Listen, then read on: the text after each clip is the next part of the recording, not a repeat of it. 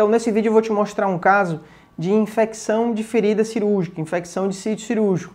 paciente diabético fez a cirurgia por um cisto que já tinha histórico de infecção, não cuidou muito bem do curativo, houve um descuido e acabou infeccionando. Vou mostrar para você um pouco do que aconteceu, porque esse paciente é uma pessoa próxima a mim, foi meu pai, eu que cuidei dessa ferida e no final deu tudo certo. Vou te mostrar nesse vídeo.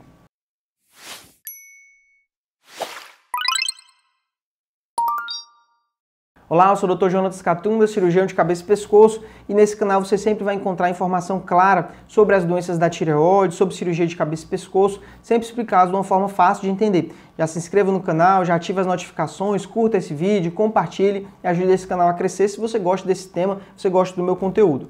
Então, aqui foi a, a, o desenho da, da, do planejamento cirúrgico, né? E aqui o tamanho da lesão, era uma lesão de aproximadamente um centímetro. Aqui após a remoção da lesão, a gente vê o tumorzinho aqui, aqui a ilha de pele, aqui um espaço de gordura que estava por baixo do tumor. Era um cisto sebáceo que já havia anos e anos de crescimento, já havia infeccionado várias vezes porque o paciente teimosamente espremia a lesão e acabava infeccionando até que topou fazer a cirurgia. No pós-operatório imediato estava tudo ok. No primeiro dia após a cirurgia a gente já vê um certo grau de inflamação. No lá pelo quinto dia, ao invés de estar melhorando, a gente começou a perceber que o curativo estava ficando cada vez mais encharcado curativo que deveria estar sequinho, estava ficando mais encharcado e nessa região, talvez por conta da gordura, ah, talvez tivesse alguns seromas formados que não foi percebido, até que foi optado, eu optei por abrir esse ponto aqui para drenar a secreção. Então o próximo, o próximo slide é um vídeo, já adianto que é um vídeo um pouco nojento para quem não está acostumado, né? tem um pouco de pus por conta da infecção. Então, é, todo paciente que tem qualquer sinal de infecção, a ferida não está ficando boa, está muito inflamada, está abaulada, como se estivesse inchado, em alguns casos é preciso fazer esse tipo de procedimento de drenagem. Você abre um dos pontos e você faz essa compressão realmente como se estivesse ordenhando, trazendo das bordas pra, para o centro, né, para tentar tirar qualquer secreção. Então aqui a gente vê que não estava tão purulento, não estava claramente purulento, mas já havia certos sinais sim de infecção. Principal cuidado aqui é o cuidado com curativo. Né? Essas infecções de feridas cirúrgicas são infecções superficiais que muitas vezes o principal cuidado né, foi esse inicial que foi feito, foi aberto o ponto, né? Isso, claro, aqui é um vídeo só de orientação, sempre indico você fazer tudo isso com acompanhamento médico, com o médico que lhe operou, então se tem qualquer suspeita que o seu caso aconteceu isso, já procura o médico, né?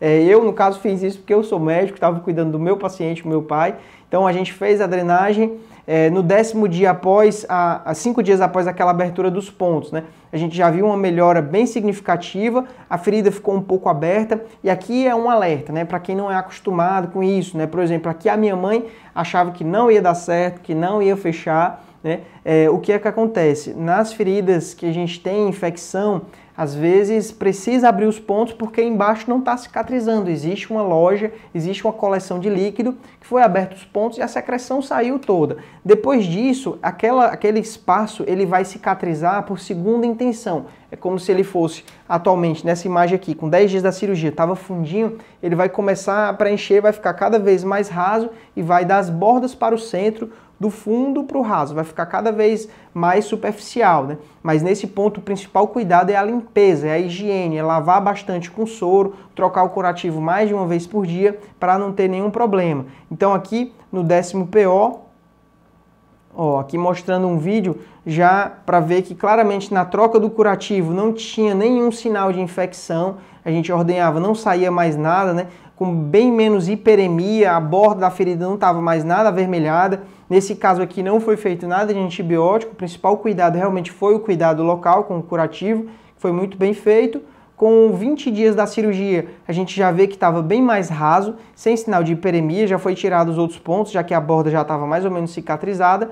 E com 30 dias, mesmo aquele espaço lá que no começo estava um buraco bem fundo, já ficou bem raso, bem fechadinho, ficou praticamente a linhazinha original, né? Então, é, aqui é para mostrar o que acontece, né? Quando tem uma infecção, o principal é cuidado local, é a limpeza, é a higiene. Às vezes o paciente acha que o mais importante é o cuidado com antibiótico e não é, é o cuidado local, você ter todo o cuidado de limpar, de tirar toda a secreção, de trocar o curativo, às vezes mais de uma vez por dia. O curativo ele ajuda a sugar a secreção que está lá no fundo, né? Então, quando o curativo está encharcado, você precisa trocar para ele continuar tendo essa ação, porque se ficar o curativo úmido já encharcado, ele não vai mais ter esse efeito, vai inclusive fazer o efeito contrário, vai é, é, aumentar e piorar a infecção.